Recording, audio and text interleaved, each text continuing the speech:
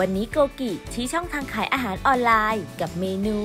ไข่ปลาหมึกทอดน้ำจิ้มแซบกรอบอร่อยทำกินเองได้ทำขายออนไลน์ก็ดี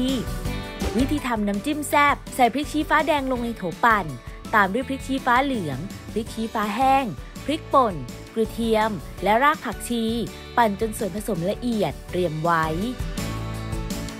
ใส่น้ำลงในภาชนะตามด้วยน้ำตาลปี๊บน้ำตาลทรายเกลือป่นไทยและน้ำมะขามเปียก นำขึ้นตั้งไฟ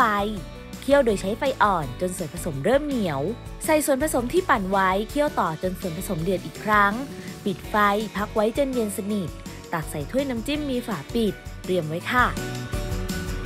วิธีทำไข่ปลาหมึกทอด ใส่ไข่ปลาหมึกลงในภาชนะ ตามด้วยแป้งประกอบอาหารปลาโกกิคลุกเคล้าให้เข้ากัน เตรียมไว้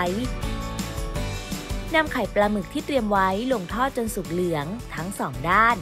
ตักขึ้นพักให้เสด็จน้ำมัน จัดไข่ปลาหมึกทอดใส่กล่องที่รองด้วยกระหล่ำปลีซอย รับประทานคู่กับน้ำจิ้มแซ่บพร้อมเสิร์ฟแล้วค่ะกับเมนู ไข่ปลาหมึกทอดน้ำจิ้มแซ่บทำกินเองได้ทำขายออนไลน์ก็ดี